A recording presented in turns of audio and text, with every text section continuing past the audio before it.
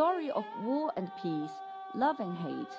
The epic musical Jews in Shanghai shows the deep friendship between ordinary Shanghai residents and Jewish refugees during the Second World War.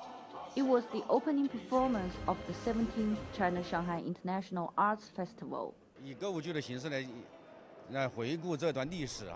The musical was very touching.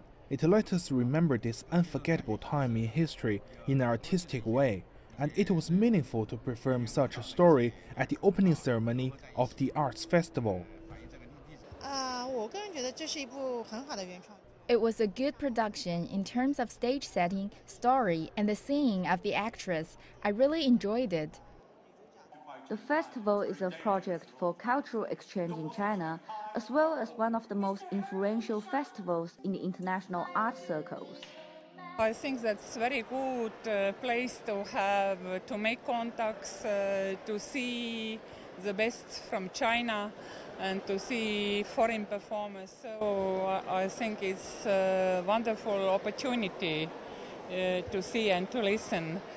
The festival will last one month under the theme A Gala of Arts and a Festival for the Public Various events, including stage performances, exhibitions, art spaces, and the Young Talents program, will be held across the city. 林南 CCTV 上海。